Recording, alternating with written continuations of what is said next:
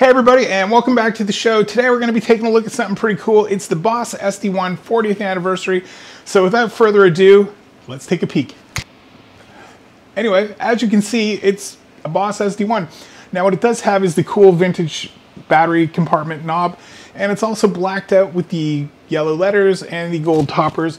It's pretty cool. It is still asymmetrical clipping and it just looks cool. Now, what I found really cool about this is I've never really used an SD1 before. I've always been a tube screamer guy, so having spent some time with this, these are actually really cool, and I'm kind of sorry I never spent more time with these. Anyway, check them out.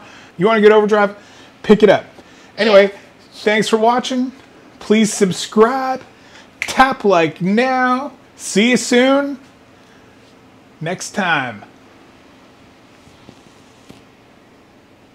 like now?